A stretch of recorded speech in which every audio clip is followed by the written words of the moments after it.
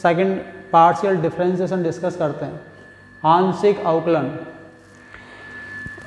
देखो, आप लोगों ने ट्वेल्थ में पढ़ रखा है कि कोई भी फ़ंक्शन दिया हुआ है सपोज़ करो Y equals to F of X हमारे पास कोई फ़ंक्शन है। तो हम जब उसको डिफ्रेंशिएट करते हैं तो उसको लिखते हैं D Y by D X equals to F dash X ऐसा क्यों लिखते हैं? क्योंकि हमारे पास y जो है वो डिपेंडेंट वेरिएबल है, x क्या है? इंडिपेंडेंट वेरिएबल है। मतलब ये तो आश्रित चर है हमारा, और ये क्या है? स्वतंत्र चर है। एक्स इंडिपेंडेंट वेरिएबल है वाई जो है वो डिपेंडेंट वेरिएबल है। तो कोई भी अगर प्रॉब्लम दे रखी है सपोज़ कीजिए Y equals to two X square plus six X और आपको कहता है कि इसको डिफ्रेंशिएट करो एक्स के रेस्पेक्ट में तो हम क्या करेंगे? D Y by D X find करेंगे। D Y by D X equals to four X plus six simple differentiation का फॉर्मूला अप्लाई किया, हमारे पास सॉल्यूशन बन गया। इसको हम बोलते हैं ऑर्डनरी डिफ्रेंसिएशन साधारण अवकलन कर दिया हमने। जब एक ही इंडिपेंडेंट वेरिएबल होता है, एक ही स्वतंत्र चर हो तो हम ऑर्डनरी डिफ्रेंसिएशन का यूज़ करते हैं। More than one independent variable आ जाते हैं तो हम पार्शियल साइन का यूज़ करते हैं। तो Y equals to F of X suppose कीजिए हमारे पास कोई फ़ंक्शन था। देन हमने क्या किया? वाई की टर्म के अंदर स्मॉल इंक्रीमेंट किया। वाई की टर्म के अंदर स्मॉल इंक्रीमेंट किया डेल्टा वाई का।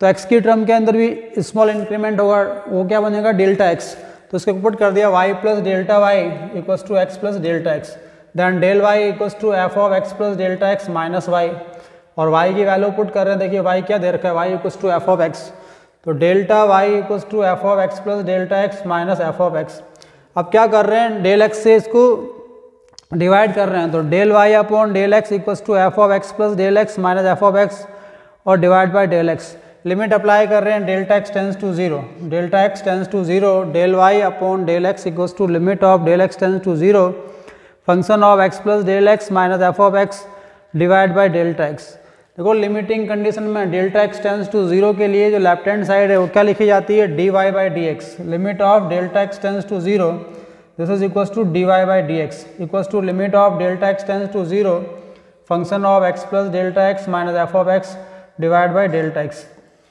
y को एक्स के रेस्पेक्ट में डिफ्रेंशिएट किया तो ऑर्डनरी डिफ्रेंशिएशन को हम इस टाइप से पुट करते हैं। लिमिटिंग कंडीशन के अंदर इस टर्म को क्या लिखते हैं? D y by d x हमें आंशिक अवकलन को डिस्कस करना है। तो सपोज़ कीजिए कि हमारे पास z equals to f of x comma y कोई फ़ंक्शन दे रखा है। या हम क्या कहेंगे कि z जो है वो डिपेंडेंट वेरिएबल है और x और y क्या है? इंडिपेंडेंट वेरिएबल है। तो more than one independent variable मतलब एक से ज़्यादा अगर स्वतंत्र चर आते हैं तो हम आंशिक अवकलन का यूज़ करते हैं। तो यहाँ पे देखिए कोई प्रॉब्लम दे रखी है, z equals to x square plus two x y अगर मुझे इसको x के रेस्पेक्ट में डिफ्रेंशिएट करना है तो मैं पार्सली डिफ्रेंशिएट करूँगा। और पार्सली जब डिफ्रेंशिएट करूँगा, जब x के रेस्पेक्ट में डिफ्रेंशिएट कर रहा हूँ तो y की जो टर्म है वो कॉन्स्टेंट रहेगी। y को हम कॉन्स्टेंट लेके चलेंगे, जब आप पार्सली डिफ्रेंशिएट करोगे। एक्स स्क्वायर को डिफ्रेंशिएट करेंगे तो क्या बन जाएगा? 2x और यहाँ पे 2y टोटल कांस्टेंट टर्म है, और x को डिफ्रेंशिएट करोगे, क्या बन जाएगा? 1 तो del z upon del x equals to two x plus two y similarly जब इस टर्म को वाई के रेस्पेक्ट में डिफ्रेंशिएट करोगे, जब वाई के रेस्पेक्ट में डिफ्रेंशिएट करेंगे तो एक्स की टर्म कांस्टेंट रहेगी। एक्स की टर्म कांस्टेंट रहेगी मतलब कांस्टेंट को डिफ्रेंशिएट कर रहे हैं विद रिस्पेक्ट टू वाई तो ज़ीरो बन जाएगा। और यहाँ से 2x कांस्टेंट है और वाई को विद रिस्पेक्ट टू वाई जब सॉल्व करेंगे तो कितना हो जाएगा? वन तो del z upon del y की जो वैल्यू बनेगी, वो टू मिलेगी हमें। मतलब जब आप पार्शली डिफ्रेंशिएट कब करोगे? जब more than one independent variable आते हैं हमारे पास, एक से ज़्यादा अगर स्वतंत्र चर आते हैं तो हम आंशिक अवकल का यूज़ करते हैं। Z equals to function of x y first principle जो हमने पढ़ रखा है, उसी का यूज़ कर रहा हूँ। Z equals to function of x comma y तो z plus del z z के अंदर स्मॉल इंक्रीमेंट कर रहे हैं तो यहाँ क्या बन जाएगा? F of x plus delta x और वाई क्योंकि जब एक्स के रेस्पेक्ट में फाइंड कर रहे हैं तो वाई की टर्म कांस्टेंट रहती है। तो del z equals to f of x plus delta x comma y minus function of x comma y z को राइट हैंड पार्ट में शिफ्ट कर दिया और जेड की हमने वैल्यू पुट कर दी। Limit of x tends to delta x tends to zero del z upon del x del x से हमने क्या किया? यहाँ पे डिवाइड कर दिया और फिर लिमिट अप्लाई कर दी डेल एक्स के लिए। तो limit of delta x tends to zero function of x plus delta x comma y minus function of x comma y divide by del x. अब लिमिटिंग कंडीशन के अंदर ये जो term बनती है, del z upon del x, इसको हम लिखते हैं delta z upon delta x. Symbol का ध्यान रखना, ये जो ये जो टर्म पुट कर रहे हैं, ये जेड की टर्म के अंदर स्मॉल इंक्रीमेंट है। जेड के अंदर थोड़ा सा इंक्रीमेंट हो गया तो डेल्टा जेड पुट कर रहा हूँ। और ये पार्शियल का साइन अप्लाई कर रहा हूँ यहाँ पे। यहाँ पुट कर रहा हूँ del z upon del x. ये डेल्टा की फॉर्म में ये डेल की फॉर्म में। तो इस सिंबल के अंदर कंफ्यूज नहीं होना है आपको। ये स्मॉल इंक्रीमेंट को रिप्रेजेंट करता है और ये पार्सल ये डिफ्रेंशिएट कर रहे हैं जेड का विद रिस्पेक्ट टू एक्स अगर ये लिमिट एग्जिस्ट कर जाती है, अगर इसकी सीमा विद्यमान हो तो हम क्या कहेंगे? ये limit of delta x tends to zero del z upon del x जो है वो delta z upon delta x बन जाएगा। Delta Z upon delta x को हम क्या बोलेंगे? Partial derivative with respect to x x के सापेक्ष आंशिक अवकलन गुणांक एक्स के सापेक्ष आंशिक अवकलन गुणांक, अगर ये लिमिट क्या हो एग्जिस्ट कर जाए, इसकी कुछ वैल्यू आ जाए हमारे पास तो del z upon del x क्या बन जाएगा? एक्स के सापेक्ष आंशिक अवकलन गुणांक बनेगा। इसी प्रकार हम क्या लिख सकते हैं? Del z upon del y del z upon del y equals to limit of delta y tends to zero function of x y plus delta y minus function of x comma y divide by delta y इसको बोलेंगे partial derivative partial derivative with respect to y x की जगह Y put कर देंगे। X के सापेक्ष आंशिक अवकलन गुणांक इसको पुट किया है। ये बन जाएगा वाई के सापेक्ष आंशिक अवकलन गुणांक। हम क्या कह सकते हैं यहाँ पे? देखो, हमने delta z upon delta x और delta z upon delta five find किया। तो यहाँ से क्या निष्कर्ष क्या निकल, निकलता है? हम ये कह सकते हैं कि एफ़ एक्स वाई का एक्स के सापेक्ष आंशिक अवकलन गुणांक। एफ़ एक्स वाई का एक्स के सापेक्ष आंशिक अवकलन गुणांक। साधारण अवकलन गुणांक ही है। क्या कहते हैं? ऑर्डनरी डिफरेंशिएशन ही है। कब है? यदि अन्य स्वतंत्र चर, अगर जो सेकेंड जो इंडिपेंडेंट वेरिएबल है वाई उसको क्या मान लिया जाए? अचर मान लिया जाए।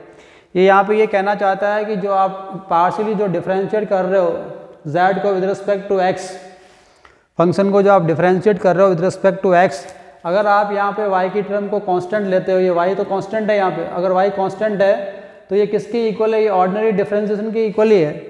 और इसको जब आप डिफ्रेंशिएट कर रहे हो विद रिस्पेक्ट टू y तो यहाँ पे x की टर्म कांस्टेंट है। तो ये किसके इक्वल बन रहा है? ये ऑर्डनरी डिफ्रेंसिएशन के इक्वल ही है। जब क्या हो सेकेंड जो वेरिएबल है, उसको अगर हम कॉन्स्टेंट लेके चलें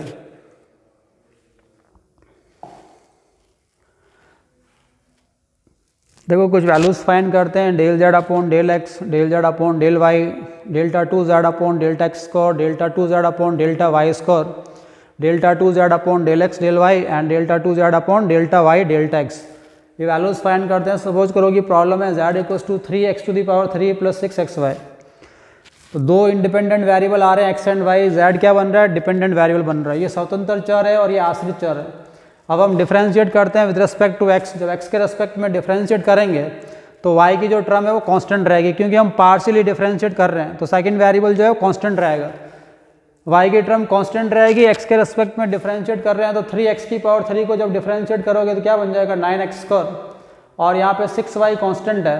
X with respect to x कितना हो गया? वन तो del z upon del x की ये वैल्यू आएगी nine x square plus six y फिर वाई के रेस्पेक्ट में इसको डिफ्रेंशिएट कर रहे हैं। Y के रेस्पेक्ट में डिफ्रेंशिएट कर रहे हैं तो x की टर्म कांस्टेंट है। x की टर्म कांस्टेंट है, इसका मतलब ये पूरा कांस्टेंट है। तो क्या हो गया? कांस्टेंट का डिफरेंशिएशन ज़ीरो फिर 6x की टर्म कांस्टेंट है। तो 6x कांस्टेंट रहेगा और y इसके साथ में आ रहा है तो y का differentiation with respect to y कितना बन गया? वन बन गया। अगेन फाइन करते हैं delta two z upon delta x square अब delta two z upon delta x square कैसे फाइन करोगे? जो del z upon del x की वैल्यू आ रही है, ये जो वैल्यू आ रही है इसको डिफ्रेंशिएट करना है विद रिस्पेक्ट टू एक्स इसको डिफ्रेंशिएट करोगे विद रिस्पेक्ट टू एक्स तो ये कंप्लीट क्या बन जाएगा? Delta two z upon delta x square delta two z upon delta x square तो del z upon del x जो हमने फाइंड किया है, उसको एक्स के रेस्पेक्ट में डिफ्रेंशिएट करो। तो इसकी वैल्यू पुट कर रहा हूँ मैं यहाँ पे। Nine x square plus six y और जब इसको डिफ्रेंशिएट कर रहे हैं एक्स के रेस्पेक्ट में तो वाई की टर्म कांस्टेंट है, क्योंकि हम पार्सली डिफ्रेंशिएट कर रहे हैं। तो यहाँ से देखो, ये बन जाएगा फ़र्स्ट टर्म तो नाइन एटीन एक्स और ये कांस्टेंट टर्म है तो क्या बन गया? ज़ीरो तो delta two z upon delta x square equals to eighteen x फिर हम फाइंड कर रहे हैं delta two z upon delta y square तो delta z upon delta y ये जो टर्म बन रही है, del z upon del y इसको पार्शली डिफ्रेंशिएट कर रहे हैं विद रिस्पेक्ट टू वाई तो del upon del y this is equals to six x और y के रेस्पेक्ट में डिफ्रेंशिएट कर रहे हो, x की टर्म कांस्टेंट है तो ये टोटल कांस्टेंट टर्म है तो क्या बन गया? This is equals to zero तो delta two z upon delta y square की जो वैल्यू है वो ज़ीरो मिलेगी। नेक्स्ट फाइंड करते हैं, delta two z upon delta x, delta y. अब delta two z upon delta x, delta y find करने के लिए आपको del z upon del y को एक्स के रिस्पेक्ट में डिफ्रेंशिएट करना ये टर्म कंप्लीट बनेगी, delta two z upon delta x, delta y. Delta z upon delta y की वैल्यू है हमारे पास सिक्स एक्स इसको यहाँ पुट करेंगे। और x के रेस्पेक्ट में डिफ्रेंशिएट कर रहे हैं तो x with respect to x one बन जाएगा तो सिक्स बन जाएगा हमारे पास। नेक्स्ट फाइंड करते हैं delta two z upon delta y delta x delta y delta x का मीनिंग क्या हो गया? Del z upon del x को वाई के रेस्पेक्ट में डिफ्रेंशिएट करना है। और del z upon del x already find कर चुके हैं nine x square plus six y ये जो टर्म बन रही है, इसको y के रिस्पेक्ट में डिफ्रेंशिएट करोगे तो x की टर्म कांस्टेंट रहेगी तो यहाँ से तो ये डिफ्रेंशिएट होकर क्या बन गया? ज़ीरो सिक्स कांस्टेंट टर्म है, y with respect to y one बन जाएगा। तो देखो क्या देखने को मिल रहा है, अगर कोई फ़ंक्शन दिया हुआ है, हमने फ़र्स्ट डेरिवेटिव निकाले पार्शियल के del z upon del x del z upon del y ये फ़र्स्ट डेरिवेटिव कहलाते हैं। फिर हमने delta two z upon delta x को delta two z upon delta y को और delta two z, delta x, delta y and delta two z, delta y and delta x की सेकेंड डेरिवेटिव फाइंड किए तो हमें क्या देखने को मिलता है कि delta two z divide by delta x, delta y equals to delta two z, delta x, delta y. ये दोनों एक दूसरे के इक्वल है। देखो जो वैल्यू मिल रही है हमें। यहाँ से सिक्स मिल रहा है। और इसको जब सिंप्लीफाई किया तो क्या आ रहा है? सिक्स आ रहा है। मतलब दोनों क्या है? एक दूसरे के इक्वल है। Delta two z, delta x, delta y equals to delta two z, delta y, delta x.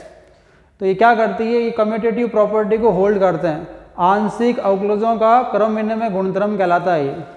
मतलब कोई भी अगर फ़ंक्शन दिया गया है आपको यहाँ पे, और बोलते हैं कि delta two z upon delta x, delta y find करो, या delta two z upon delta y, delta x find करो तो उसकी वैल्यू ऑलवेज इक्वल बनेगी। हमेशा उसकी जो वैल्यू है वो इक्वल आएगी।